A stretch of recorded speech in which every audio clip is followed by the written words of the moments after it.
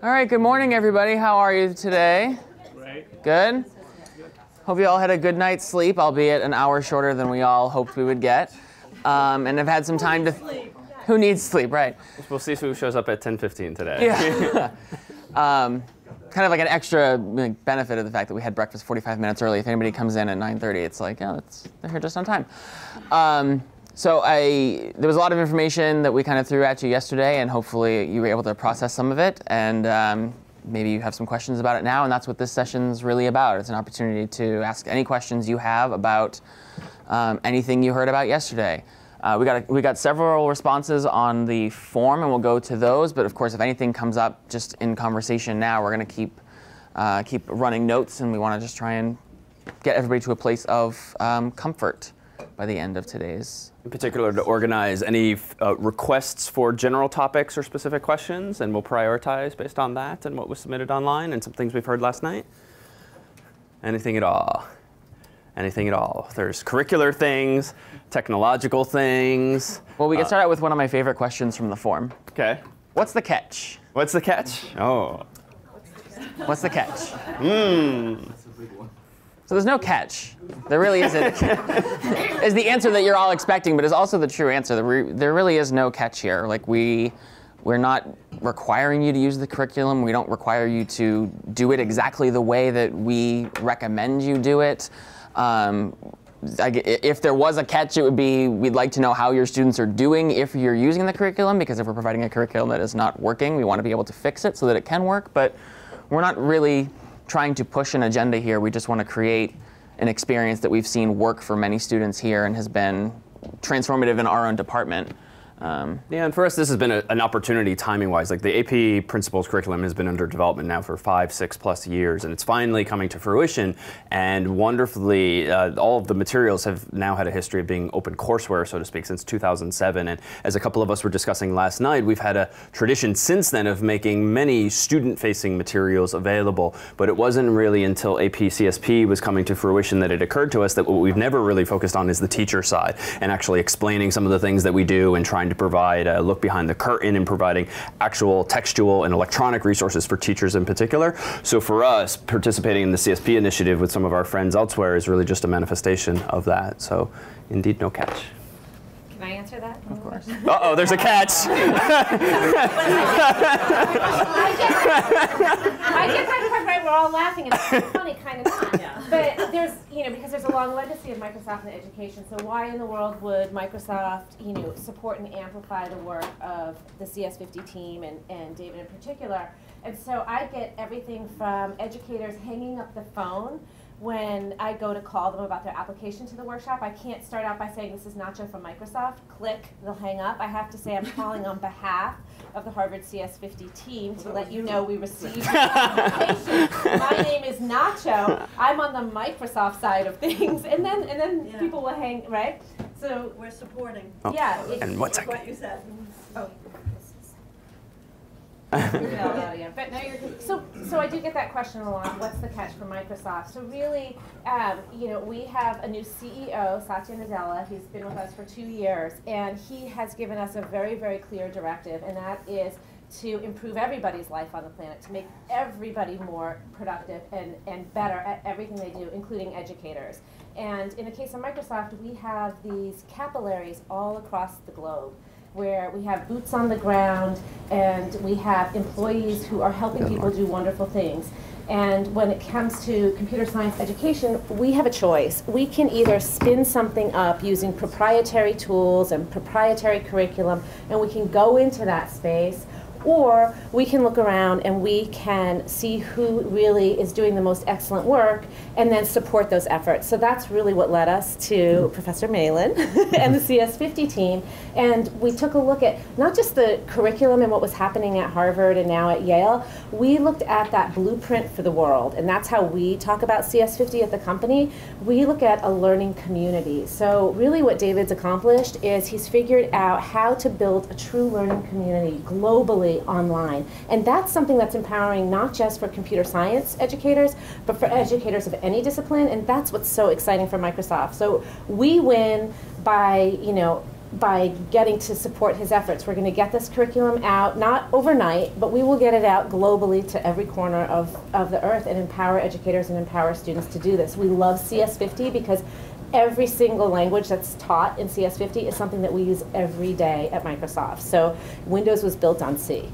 And so it's you know a fabulous match, and um, we believe in everything that you're doing. Well, thank you. I stepped this close only because that mic's not working, and I needed you to get picked up by my mic. So I was trying to stare you down here. We love this guy. It doesn't get any better. You know, I get to work with these with these educators, and we get to you know where the stories are coming, you know, are starting to crop up, and and are coming from across the globe. And so really, that's what we can do is we can just apply. You're already everything is excellent. What we can do is say, hey, let's let's resource you to take it everywhere. Thank you. Other questions? Yeah. Um, glad to, No. um, I have two questions. One is just like a simple one about grading. I, I think Nacho said something about um, you offer this class as pass-fail.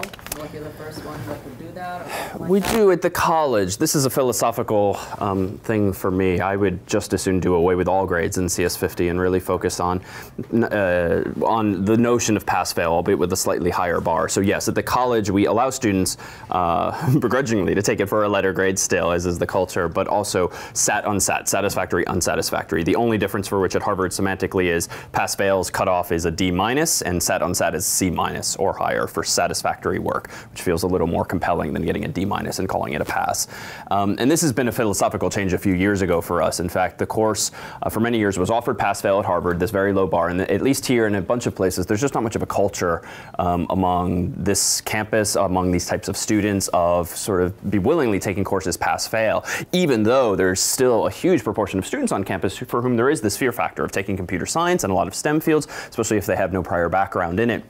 And so one of the messages we wanted to send along the lines of accessibility some years ago was you should absolutely not fear failure, even if in your own mind failure is a B or worse, um, but rather you should feel quite comfortable, especially at college when you're finally exiting high school and you've had a fairly structured schedule for some 18 years of your life to explore unfamiliar waters. And so for us, um, encouraging students to take the course pass-fail or some equivalent has been actually a huge message for us. And it's gone up from 2 to 3% years ago to 13% in more recent years.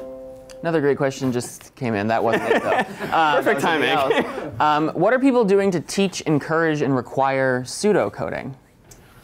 So at the beginning of the year when we started, the kids, you know, we did the lessons on I'm also coming over the to peanut butter and jelly. Uh, You know, the type of thing, the Mike Smith in the phone book. Um, But the kids kind of didn't really see the purpose originally of pseudocoding. And, um, you know, what we did actually, we had a Skype with Nacho, which was really great. And her professional team explained how that's how it's done in the real world. And, and the kids really took to that. And then they came, they started to work in groups sometimes around a table before they'd get on a computer and work out the pseudocode together.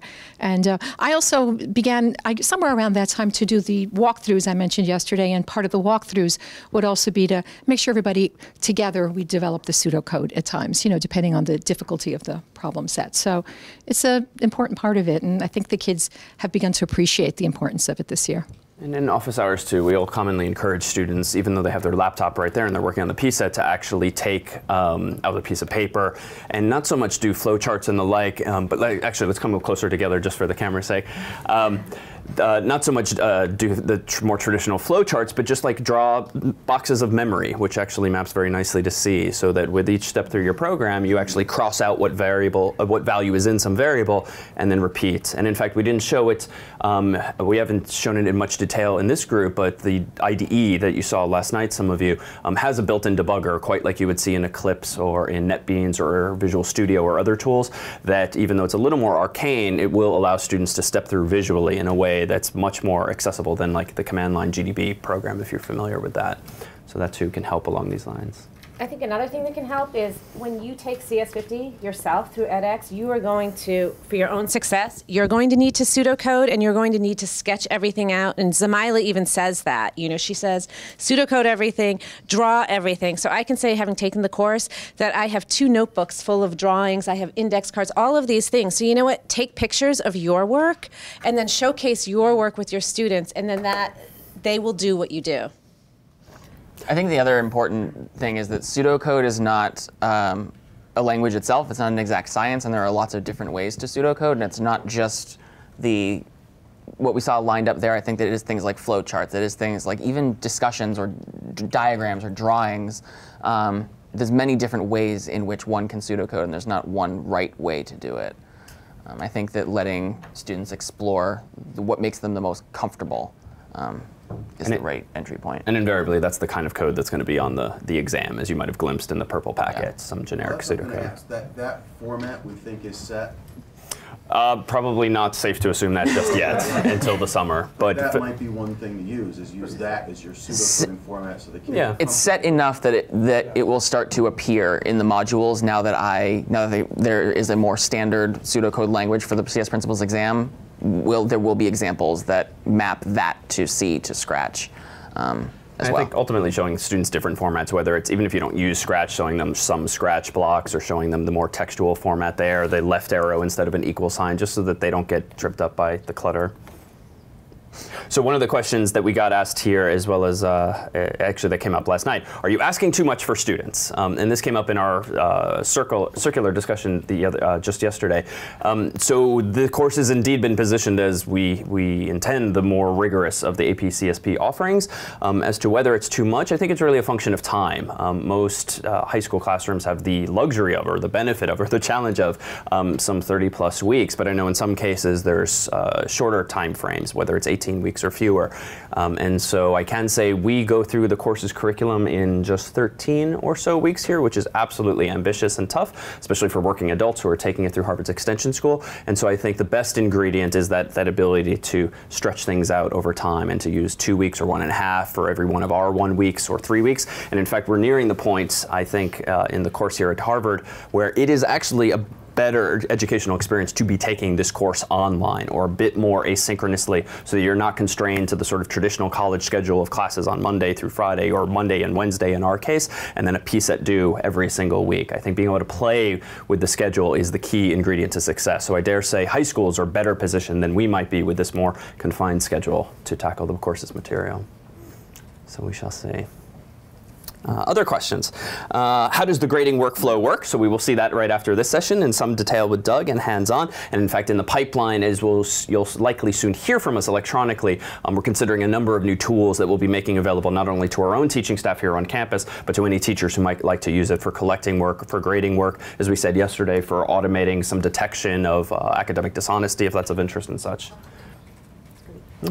Uh, let's see. What can we? So let me toss that question back to folks in the room. What can we provide to you in terms of other materials and tools, whether it's curricular content, whether it's technological content? How can we be helpful, if thoughts come to mind, or what problems do you feel you might otherwise leave here not having solved? I mean, I have an idea, if it's Sure. okay. So one of the things that I would love is more ideas, like more snippets of code. Okay. More, I think the kids really enjoy looking at code, and they learn a lot from looking at code. And early on, early on when we started the curriculum, there were, you know, some very simple Hello World and Fahrenheit and fairly straightforward problems, but there weren't a lot of examples of code for them to look at. And, you know, I used many of the examples from your video, but I felt that I started to create a few of my own, and being busy creating the curriculum, whatever, it was always a bit of a struggle to come up with something that was meaningful and made sense and demonstrated integer overflow or floating point imprecision. And so um, I just think more examples of code Okay. are really, really helpful. So. That's good timing because one of the new features that'll come out in the IDE in the next few weeks is the ability to uh, provide students with a hyperlink that will directly open a file that you or we provide in the IDE so that they can immediately save it and start compiling and playing. So we'll do more of that for sure. So, um, one of the things that I- I've not been able to find, which might be out there, are some smaller exercises that don't lead to code, but just towards asking them to come up with an algorithm. Just a pseudo, like a whole series of, you know, they could have five of these for homework, not that they're two taxing, but just practice, practice, practice. Okay. Good, that's help. coming up with algorithms. Okay, helpful. Christian? Um, in line with the code examples, maybe it would be useful to have examples on uh, how code applies to applications that uh, kids use daily. Okay. For example, you know, I don't know if they Instagram or Snapchat or WhatsApp, whatever is popular, um, and then break it down as if if uh, put a filter, anything, um, then the picture will look like this. Say if I do that, then anything, uh, and you can go to Yeah. pseudocode, you can do it very simple, but that sort of is like, oh, it applies to what I do all day, or it applies to what I. So It really comes organically with the PSETs, like in PSET 4, when we're talking about images. PSET 5, it's something like whenever you're texting and you've got that underline, it's like, how did it know that it's underlined? And that's exactly what we say in the lecture. So we get the attention of the students, like, this is how we do it. How fast is like, this underline was instant. How did it do that? So now, like, in the later p-sets, they're all applicable, all linked to daily things that they're having. That's something that's beautiful. It's more Snapchat. yeah. I can imagine sending, transmitting the videos that way, so they expire seven seconds after they watch them. So you gotta focus. yeah. I like the idea of the samples code, but it would be nice to have, this is a sample code, this is what the pseudocode looks like for is code. Okay.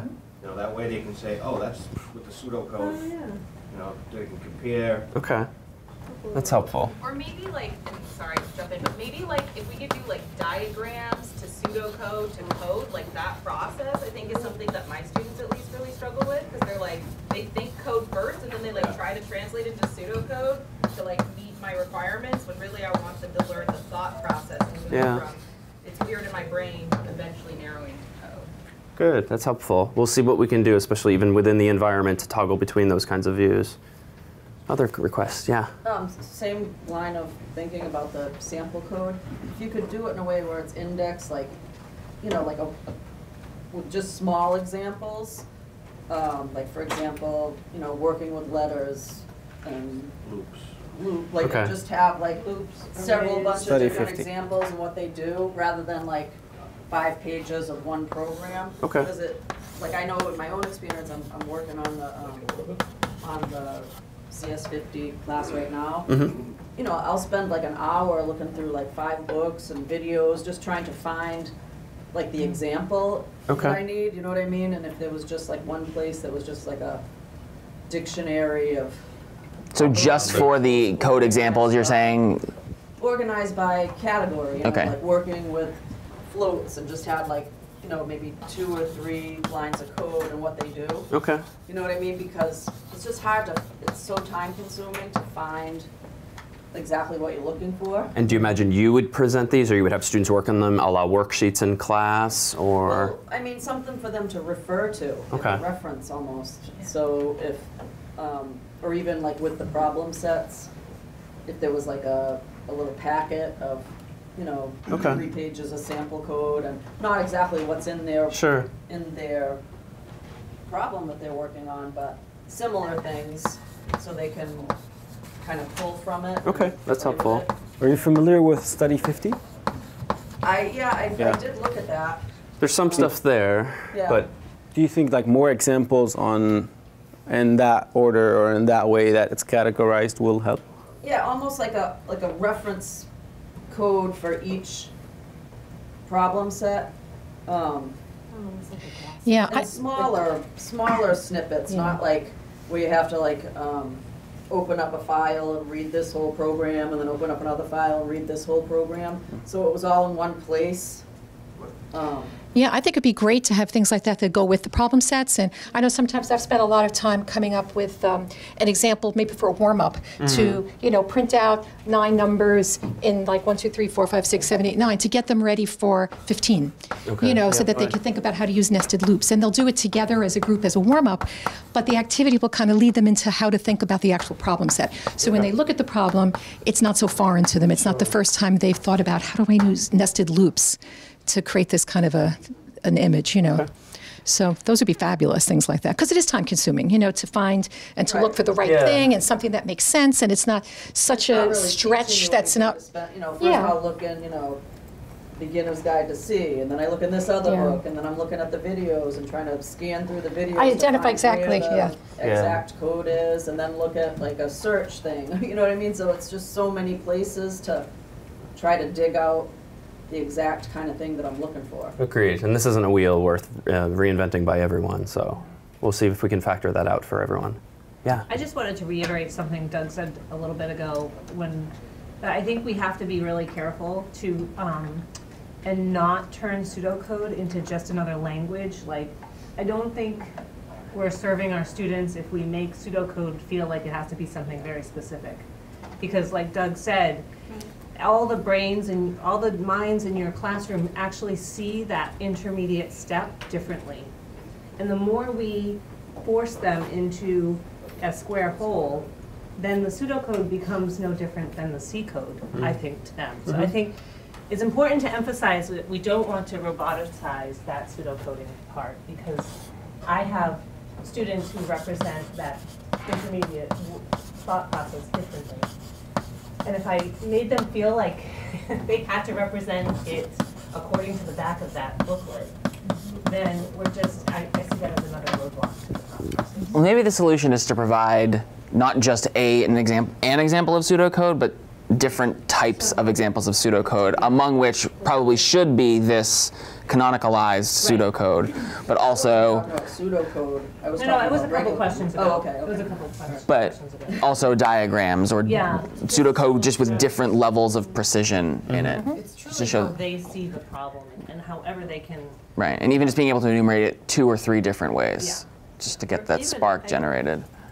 Thinking out loud, even two totally different approaches. Mhm. It's the same type of pseudocode, two totally different approaches to problem. Maybe nested loops and some- It's- something else to both come up with the same answer. I could see that even for our uh, bi- our um, uh, phone book example yesterday, where I used Yeah. goto effectively instead of a for or a while. Yeah. for them, Concept. But, but to have it laid out, to to Yeah. really drive the point home, there's, there's not necessarily, there may be a correct answer, but there's many paths to get. And I love the idea also of flowcharts, just for visual learners, mm. because some schools, some students really will see things in a different way, right? So having a different way to envision it, I think, is Yeah. great. Okay, that's helpful. Okay. Well, one question here is what kinds of final projects have been presented by students in the past?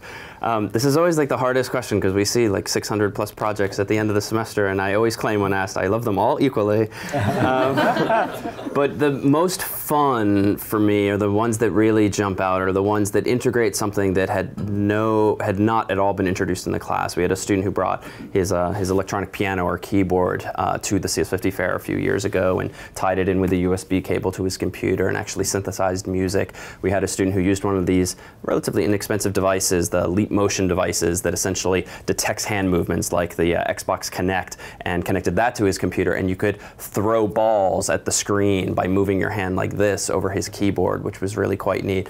Uh, there's so many projects on campus here, at least, that solve campus-themed projects uh, for like navigating the course catalog or reviews thereof of the courses, uh, for ordering food from like the house dining halls here, uh, catching shuttle buses and such on campus. And in fact, in the absence of sort of a more creative or individualized uh, project, we would encourage you to encourage students to just look for problems around themselves, whether it's something mom and dad need or some student group that they're involved in or helping out their favorite teacher solve some problem or signing up for like uh, the sports events in the evenings or something like that that at least sort of that's what we do very early on in the semester and encourage students to just keep an eye out for a problem that you think technology could solve and that's been cool when then students really own that find something that bugs them about the way things work in their school or at home or, and try and solve that problem computationally. Another cool example that I recall from not too long ago was a student who was um, a chef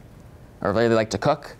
And um, he was having trouble getting this particular type of mushroom from a from his grocery store, and so he purchased um, whatever you use to grow mushrooms, and built this device and had an Arduino connected to it, such that it would regulate uh, temperature and humidity, and it would it would when it when it detected that it was necessary to increase the humidity, it would close a vent. Um, it was it was pretty. He had it was um, like K'NEX, like Lego or like a K'NEX kit, just to slide the vent and. So even, it, it- I mean, that's something you wouldn't even expect. It, it doesn't even end up being a, a website. It's it's a box. It's a physical device, and it's just running and just checking and you know sp- spraying mist into the box when it requires moisture. It's and I'm a little I'm a little biased. A project I remember I did once after learning programming was uh, I really wanted to go see the Daily Show with Jon Stewart, and they had a website that was just you had to visit every day and be like the first person to wake up to click on the site. So I just wrote a program that essentially hit the site every day, probably for an hour, uh, every hour or so, trying to find tickets. And and sadly, uh, I never got tickets anyway. I wasn't fast enough. Um, but things like that, where students might recognize, wow, if I could automate that, just look look what I could accomplish is compelling. So we see such a range. And do invite us if you, if you would to your CS50 fairs. We'd love to attend virtually or, or in person. Uh, let's see, this is, So before you. yeah. Is there a place where we could show some of those final projects to the students? Inspiration or, or just the? Short answer, yes. What we've done, we don't have uh, soon. Uh, we have been for the past two plus years collecting not only student source code as part of the final project submission, but we asked them to make a 30, uh, uh, two minute video of them presenting it, either using screen capture or have a friend like film them on their iPhone or whatnot. And so what we have is several, a couple thousand uh, videos of students' final projects. And so we need to go through and curate them, but we'll likely do exactly that uh, to uh, entice students to consider quite a range of oppor- opportunities. Yeah. I'd love to show that on like the first day of class. Yeah. We're- mm. We'll start to pull that together. We do that actually in the info session before actually a class starts. So they have an idea about what they're about to do. And our projects really vary from like what David was talking about. We used to have a student who built a castle that's all automated that is uh, web integrated as well with video and sensors and everything. And it turned out when he finished, he actually started working in a company that did the same thing, but that castle was a cat house. And it was automated, and it's it was beautiful. It turned out from like an interest of a small project to make, have like a, a game into a, a real job later on. But on the other side of spectrum, like uh, PSET 7 and PSET 8 are a great skeleton for building or solving many, many, many problems that students have. Whether, as chatting yesterday with uh, um, uh, Casey about a project that I've seen here in, in, in, Cambridge last time, for example, uh, a girl was about to get married and she planned her entire wedding for their families going out from one state to another. It was like scheduling system, authentication, putting all the uh, photos and all the things in one place. So the thing that we've seen at great projects is where the problem or interest that they have and they work from there. So that's what we encourage. Like if you see something that's there, think of how can you use, for example, PSET 7 and 8 to do it. And that's like, we, that's not the first thing that we say, but like later on, like after a week when we uh, give the project uh, guidelines. Other questions from the crowd? Ramon. We also have the fair videos. Yeah. That's true. We have a lot of interviews. We record all the projects. S- Yeah, the production team films students presenting their actual projects in the context of a lot of music and balloons and other students. So we have a few of those, um, one of which we showed uh, yesterday for the, the high school hackathon that we did. So we have similar ones from the fairs. Yeah. Margaret, I was hoping you could speak too. I've been piloting this course um, for two years, and so I've had students be um, doing the performance task. And your Arduino story is wonderful, but it's a little, you know, it's hard to get those kinds of examples coming out of the high school classroom. Um, you know, structurally, they, they recommend 15 hours of class time to build this. And what I've found is that the students um, can be paralyzed at first because they really feel pressured to solve this incredibly cool problem. And sometimes coming up with that is, is the hard part. And in, re- in reality, you know, the apps take a lot of time if Mhm. they're, if they're really genuine in terms of, of solving a, an intense problem. And the key to that is to make it really interesting to them, so then they go and work on a lot of, on, on their own, and, and, and that works well sometimes. But you do still end up with a fair amount of mole mashes and soundboards, right? So can you talk about your projects at the high school level and like how you have promoted and, and increased the level of those? Well, to be honest, we're just getting started right now. Okay. So um, one of the reasons we started on the web unit um, two weeks ago was because I feel like a lot of the students are, you know, obviously they're very familiar with the internet and their phones and all this, and so to be able to create a project that works in their web browser is very attractive to a lot of them. So, so I'm having them think about it right now. They're going to submit pre-proposals next week, and I'll let you know when it happens, but we haven't quite gotten there yet. One question here is how much effort do you spend grading quiz questions, which are mainly not multiple choices? In the fall semester, we have two quizzes, or uh, which is an understatement for exams, um, about midway through the semester and toward the end of the semester, but before the final project. Um, we've, I have moved away actually from doing multiple choice style questions on those over time, um, mostly because I've, even though they're harder for us to grade, I've preferred the free form where we're really trying to assess qualitatively how much students have mastered the art of thinking through problems and solving them. And so um, we spent, to grade 800 exams, we spend five to seven hours with 60 people in the room um, to churn through them. Um, but uh, we spend maybe two minutes per page, and all nine years of CS50's quizzes are available on the course's website, and you can look back through those and sample solutions. And we'll start to uh, ex excerpt those so that they're more accessible than in these more monolithic documents. But we would spend about two minutes per page. Each exam has maybe 10 pages, so there's 20 minutes per exam, but spread around multiple people.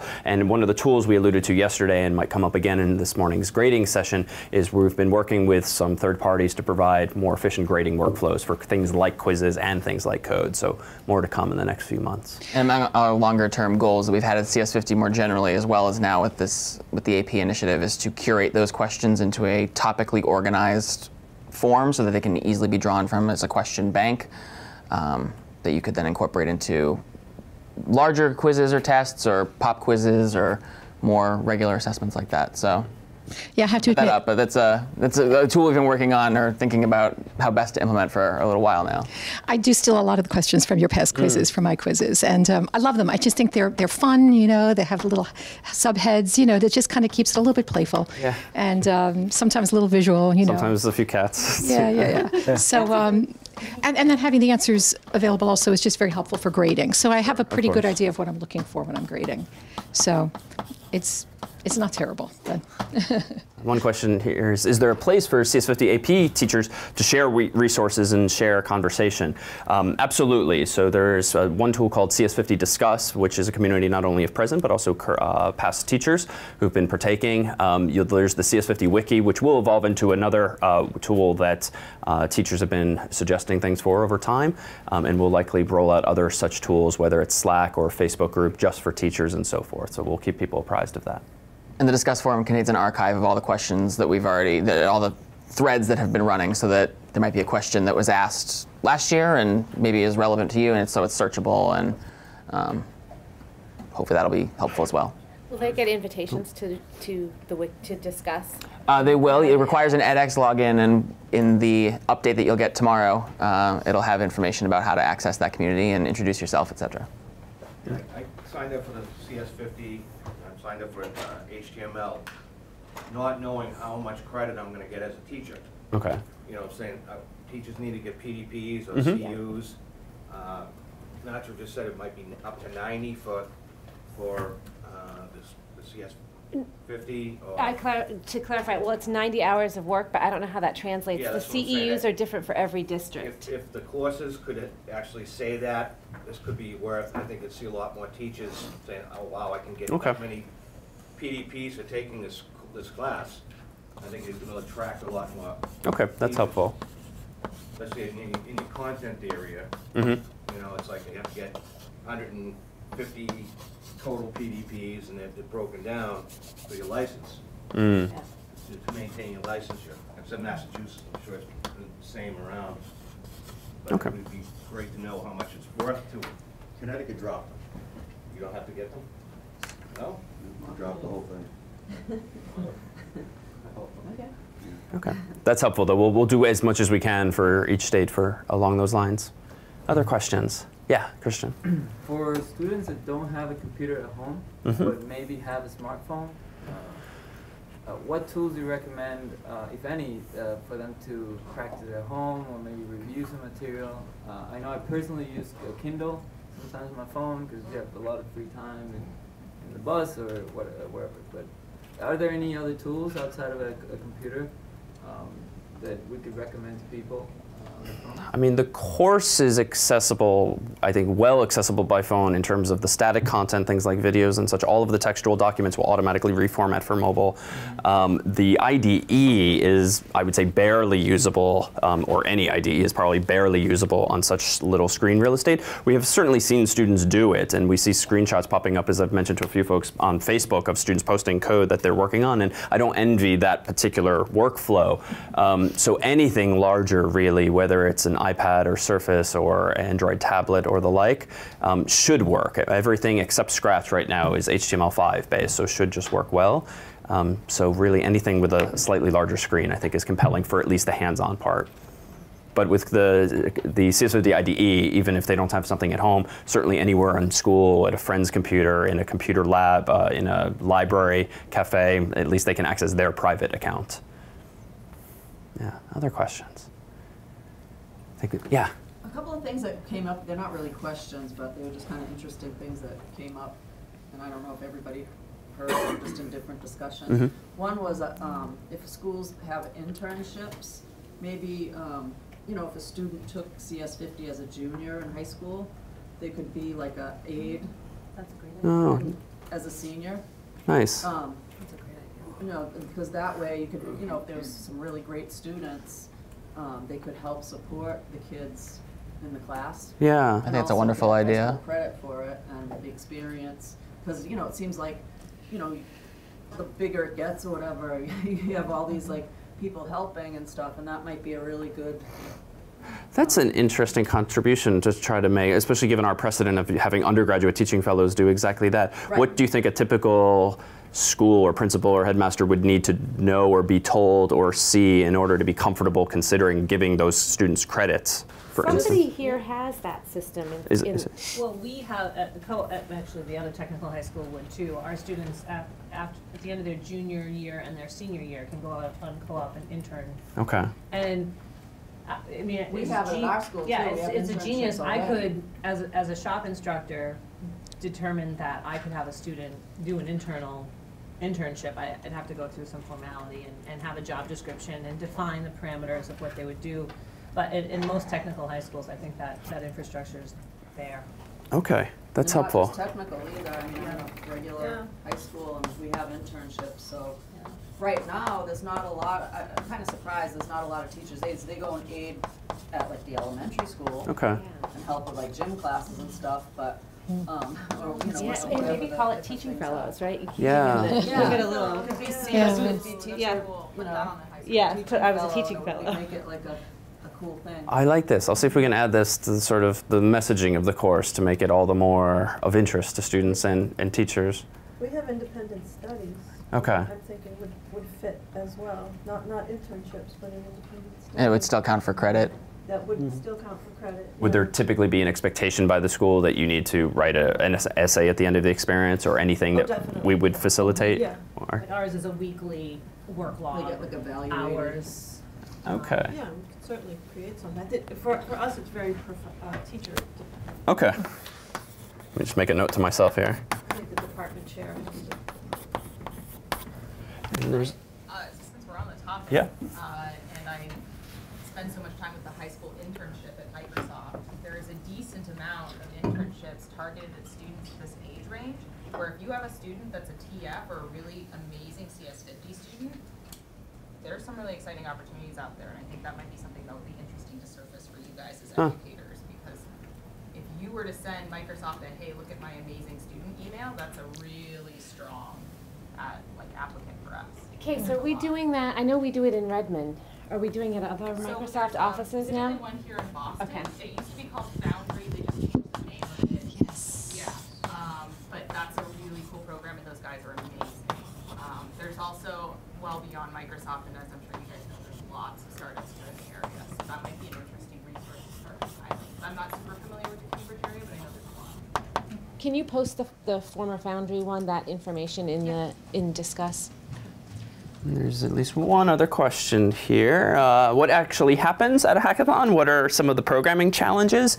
Um, it is really dependent. We typically focus here at the college on final projects toward the tail end of the semester, uh, but at Miami-Dade, at uh, Browning in New York, and a few other venues, we have focused more on problem sets wherever students are, especially if they are allowed to be out of sync with their fellow classmates. This way, as I think Nacho mentioned yesterday, um, at the high school, for instance, we had this is table for kids working on Mario, this is the table for Game of 15, this is the table for such and such, really just to facilitate peer support of each other. And I think what's really key isn't so much what the students are working on per se, but just the atmosphere that you create and the fact that people want to be there. They're not just doing it because they have to and because um, there's, there's some other pull to it, whether it is candy or music or lunchtime or whatnot. And I think the more visible you can make these kinds of events, uh, the better within a school. Yeah, just a comment on that. I want to say my students came away so energized from it. And um, I had a number of students actually during parent conferences um, just this week that said after the hackathon, my daughter decided she wants to go into computer science,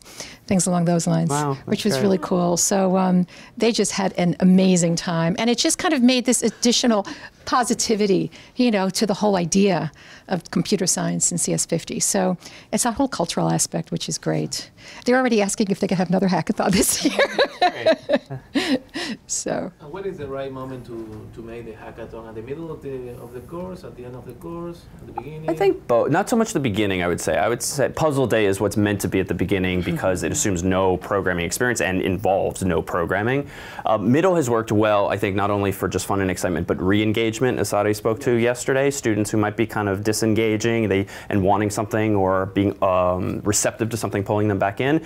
And at the end is uh, a sort of strategically optimal because it's final projects and everyone by design then is doing something on their own. So you don't necessarily have students um, working on the same challenges. So it's all the more of a supportive atmosphere, hopefully. Um, but both work well, I think. And even for the hackathon, like even for our students, uh, in any case, whether you're working more on your PSET or a final project, still gave uh, students are more confident in themselves because, oh, so this is like a hackathon, and we hear about these hackathons that companies do, and they go around. It's like they are more confident in themselves to go to the real world with their knowledge. that is something that we got. Starting with Arturo, uh, you want to add something? Yeah, That's, that, definitely something that uh, Yeah. I'm opening up the world of hackathons, and I try to make it out to every, everyone that uh, I can after that. So that's definitely something I, I would agree with. The, uh, the subject of hackathons leads to another uh, great question we have in here, which is do students really end up helping one another? Um, Harvard definitely can have a reputation sometimes as being a competitive place. It was a competitive place when I was here. Um, but I think that part of what has made CS50 unique is that it, it does have this cultural aspect where that is not so much a factor anymore. Students really do help one another. As soon as, you know, in, in office hours, you'll see students get together, and as soon as one of them gets it, it's, well, have you tried doing this? They, they immediately start to take on a sort of a surrogate teaching fellow role, trying to um, help their, their peers get across the finish line as well. It's very much a, a team, an individual but team effort um, to get everybody to the end of this experience that is intensive and rigorous and can be trying sometimes, but they want as many people to get across the finish line, and we want as many people to get across the finish line. And it, we really do see a lot of it. And it's really remarkable and inspiring to see in, in small group sections and office hours. Um, it really, it really does happen. And in terms of collaboration and academic honesty, the heuristic to which Doug alluded yesterday has worked well, I think, whereby if Doug is in front of his laptop struggling with something, we encourage students like Doug, ask David to look over at your screen and help you with whatever you're struggling with. But what the line they should not cross is Doug should not solve his problem by looking at my screen. And as he disclaims, you can kind of game that system logically, but the spirit of it is exactly that. Uh, someone else can look at your screen to help you, and that seems to work well. Can they type in yours? They- We have no such restrictions on that, um, but it, My kids, when they, when they go to help somebody, they'll say, here, let me do that. Yeah. Now you know how to do it. That's why. That's why, in in our case, we uh, we don't tell them like don't do it on the computer. Do it on a piece of paper. Help them on a piece of paper, but don't help them on the keyboard. There's one more thing that I ask them not to do, and I know they they sometimes do it, but like I ask them not to do is that. So don't start helping somebody unless you're done with your PSET because once like I don't want you to uh, see part that you didn't figure out on his screen and part that you figured out because once you saw it, you can't take it off from your head. So it's like I just explain it why you're asking them to do that in a way, and they will they will they will listen. So not just don't. I more explain why, and they kind of appreciate it later on. And I just wanted to add, like with the expert system, as we call it in my classroom, um, you know, when the kid finishes, one of the students finishes their problem set, they often will ask to be an expert. They feel proud and excited to be able to share that expertise. And so that kind of gets around the academic honesty problem as well because they've already finished. So now they're going, able to go around and kind of help other students debug their code. And then the other thing is when I love when they get around a table together and work out the pseudocode together. And so that happens at times as well. So that's a nice way of working collaboratively, but yet maintaining that academic honesty. So that's worked well.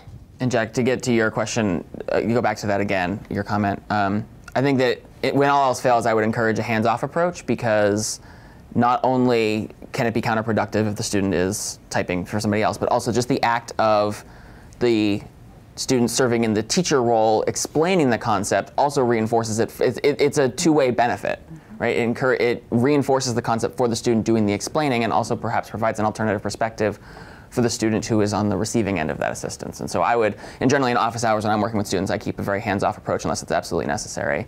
I try not to touch anybody's keyboards, um, and just encourage a dialogue back and forth. So the last question before us is how does the grading workflow work? Uh, which is a perfect segue to a 15-minute break. After which point we'll resume here and actually do some hands-on uh, tinkering. Yeah. One, one more Sure. question. Um, could you briefly touch on the difference between office hours and sections? Sure. Office hours are meant to be one-on-one opportunities for help. We'd gather students in most any room, and we bring a whole bunch of the course's staff there. And when a student has a question, he or she summons us over, catches our eye, and we would go down, lean next to their their uh, station, and just answer questions that they might have. The, the overarching goal being to unblock them. So they're coming to work and people just walking around? Correct. It's an environment to work on your P sets, and if and when you have questions, we'll come over and do our best to efficiently unblock you. And in our case, what's commonly the case is students, Zamyla makes more appearances at office hours virtually than anywhere else, and you see just a sea of her face sometimes as students work their way through the problem sets. And the notion of a walkthrough we mentioned upstairs last night, in addition to Zamyla's embedded walkthroughs pre-shot on video, will often, especially if we're overwhelmed, if the teacher-student ratio isn't so great in an office hour setting, we'll factor out as many students as we can. Hey, anyone struggling with Mario.c, come over here, and then we'll have one person at a whiteboard sort of reiterating what Zamyla is doing, but offering a slightly different perspective that hopefully resonates more, and that helps siphon off some of the load. Sections, meanwhile, are more traditional classes, um, whereby our lectures are people like me talking to with many students all at once. Sections are meant to be a 1 to 15 uh, teacher-student ratio. So Doug and other members of the staff will commonly lead those smaller scale classes that are much more akin to a medium-sized or small-sized high school classroom um, to reiterate some of the week's material, to go into additional examples, to answer questions, and really create an environment that students are more comfortable. And those are planned out ahead of time? You would go into a section with a, with an agenda? Yes. Exactly. Frequently gets deviated from, but I have a plan that I start with. I'm sure that's an all too familiar experience. Required? Nothing in CS50 is required per se. You're expected, but not required. And how often are you expected? Once a week for 90 minutes, and lectures are twice a week for 60 minutes. Ninety minutes, and then office hours? Four times a week for 180 minutes, but purely optional. And I've also gotten some good teaching ideas from the section videos. Mm. You know, just because it is kind of a classroom setting, Yeah. which is a little bit more of a kind of a traditional type of Mm-hmm. lesson that way. So sometimes just examples or ways of presenting things. It's been helpful to watch those and use those as well. And the, to be clear, the videos have been evolving. What we call sections are just what I described. What we call this year section videos are just Doug on camera against a white backdrop, um, playing the role of a proxy for that environment so that the focus is entirely on the online students. So when you see Doug's section, you won't see anyone else, even though in reality there are typically many students in the room. I just have one more comment. Sure. I don't know how feasible it would be or whatever, but um, maybe Microsoft and Harvard could sponsor some sort of like CS50, you know, event for high school students to take a field trip for the ones that are accessible to, you know, Harvard and Cambridge. Um, and that would kind of, you know, enforce the whole sort of prestige of, Mm. of Harvard and maybe get them excited about it and I don't know, they could, A hackathon. yeah, like a hackathon at the beginning of the year or some, or some, a puzzle day or whatever, get a tour of campus and show, you know, hmm. kind of like what we had, you know, and, and I think that would get them to feel like invested and sort of of like this special Absolutely. Yeah. thing. or- So you're already cordially invited to the uh, 10th, 10th an, 9th annual CS50 Fair uh, this coming December. Uh, we'll send out the dates for that. Um, we haven't done it with Puzzle Day before, but I like this idea. So we'll probably extend an invitation to Puzzle Day at the start of the semester. Uh, the hackathon, at least we, in our case, we probably wouldn't since it's an overnight thing, and so that opens a can of worms on our end. But the fair and Puzzle Day, I think we, we And we probably had would. some of our uh, pilot educators brought their students to the Yale Fair. Yes, so yes, Yeah. we can meet you in New Haven or Cambridge now for that, and wherever else things Well, spring the up. idea of a high school one, Yeah, just for the high school students. Oh, I see, I see. So many. if you could, you know, You know? provide a Yeah, venue. absolutely. Bring the kids. How, just show of hands, how many folks in here are within easy driving distance Oh, that's great. Boston Metro? So it's there's a critical Okay. mass. Yeah. So we'll see what we can do, much like we did in New York a, a few weeks back. Helpful. All right, shall we take our break here and then return for Yes, we'll grading? resume at uh, 10:30 for a session on how we do grading and assessment in CS50. Excellent. Thank you.